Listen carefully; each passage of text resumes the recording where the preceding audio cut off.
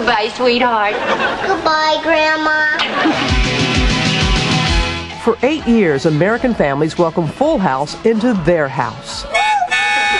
As Stephanie Tanner, Jodie captured hearts with a girl next door grin I'm ready for school. and a catchphrase that still gets giggles. How rude. Jodie grew up on the show from five years old to 13.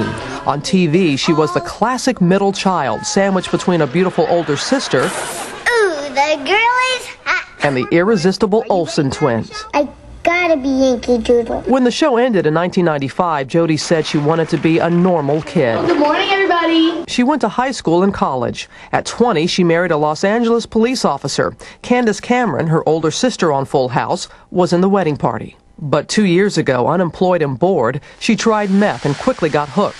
Soon, she was using meth every day. The tabloid press reported a three day bender, as well as an intervention on the part of her Full House castmates. Jodie strongly denies those allegations. Instead, she says she checked herself into the Promises Drug Rehab Facility and underwent six weeks of intense treatment.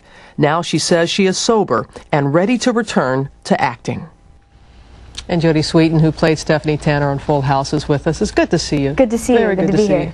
Yeah. What do you think when you when you're looking at because we're all like glued to the tube and seeing you as Stephanie uh, back in Full House. What is it like for you when you see those images? You know, it's funny. People always ask me that, and you know, growing up when I was on the series, I've never really watched it. I and even to this day, it's kind of surreal to watch myself on television growing up. You know, from five to thirteen, um, and to realize that it was such a hit that so many people watched it and, and grew up with me. It's kind of strange. It was the ultimate family show It really for, was. for so many people. You have been clean and sober for several months now. right? Yes, yes. I um, went into rehab actually on March 21st of last year. And when did you first become addicted to meth? Um, it was probably a couple years ago.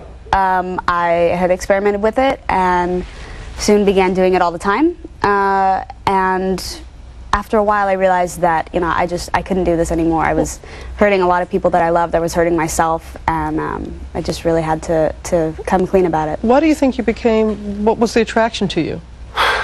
You know, I'm not really sure. I, people ask if you know it had anything to do with being on the series, growing up in this business, and to be honest, I'm not really sure if it had uh, everything to do with that. If it would have happened regardless, um, but there is a certain sense of loss when a series ends. That you know, it, it's like losing a family, people I was with for eight years, and after that, kind of trying to figure out who you are at age 13 when you've just lost your job that basically identified you for you know the first part of your life is it's a little difficult You know that there's so many um, child stars that have gotten into various types of trouble and involved with drugs. We had Leif Garrett, the teen idol, Right. who was on the program yesterday with his mother, and his mother was, was trying to say it's because of the people that he was involved in at a young age, and kind of looking to others as the fault for.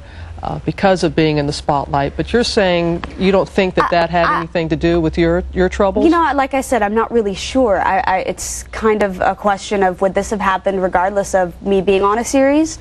Um, i'm sure that there are things that happen to me eh, you know growing up in the business you have to grow up very fast.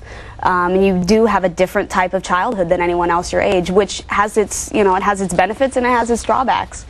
Um, but eh, you know i, I think that um, luckily i've surrounded myself with people you know the cast and everything that have really been supportive of the whole series And it truly is still a family. We've had Mm-hmm. various cast members on the program for, for different reasons, and they you, they all talk about uh, how, how to stay in touch Yeah, and, I- and help. And It really is. I mean, I, you know, I, I say all the time that we're like a family, and we really, really are. I mean, they've been calling me the past couple of days, wishing me luck, sending me love, um, and and it's you know really a, a great support network that we what have. What made you want to go to rehab? What made you make the decision that you'd had enough?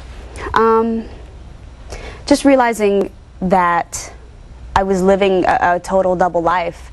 I mean, on the one hand, you know, I was married to a police officer who, uh, you know. I- we're going through a divorce right now, but I still adore him. He, he and I are actually very close friends. And he had no idea. He had no idea. Um, so I was really living this double life, and after a while, it just got to the point where I gave up. I couldn't do it anymore. It was it was tiring. You know, lying to my family, lying to my husband, lying to my friends. I mean, nobody knew that I was doing it, and it just got it got really tiring. It wore on me a lot. and now you want to return to acting. Yeah, I do. I, I Um, really want to go back into it. Uh, you know, I've taken a break for a while. I wasn't sure if I wanted to do it or if I was doing it because that was what I grew up doing. If I, you know, just was doing what I knew. Um, but now, you know, I'm back in. Um, I'm doing some really great uh, classes, and I'm really wanting to get back in the business. You know, I, I would love to work again. We wish you all the best. Thank you so much. And you're anything but rude. Thank Hit us with the, you're so rude. How rude. Oh, Yeah, rude. there- oh, there you go. All the best to you, Joe. Thank you so much, All Robin. right, you take care.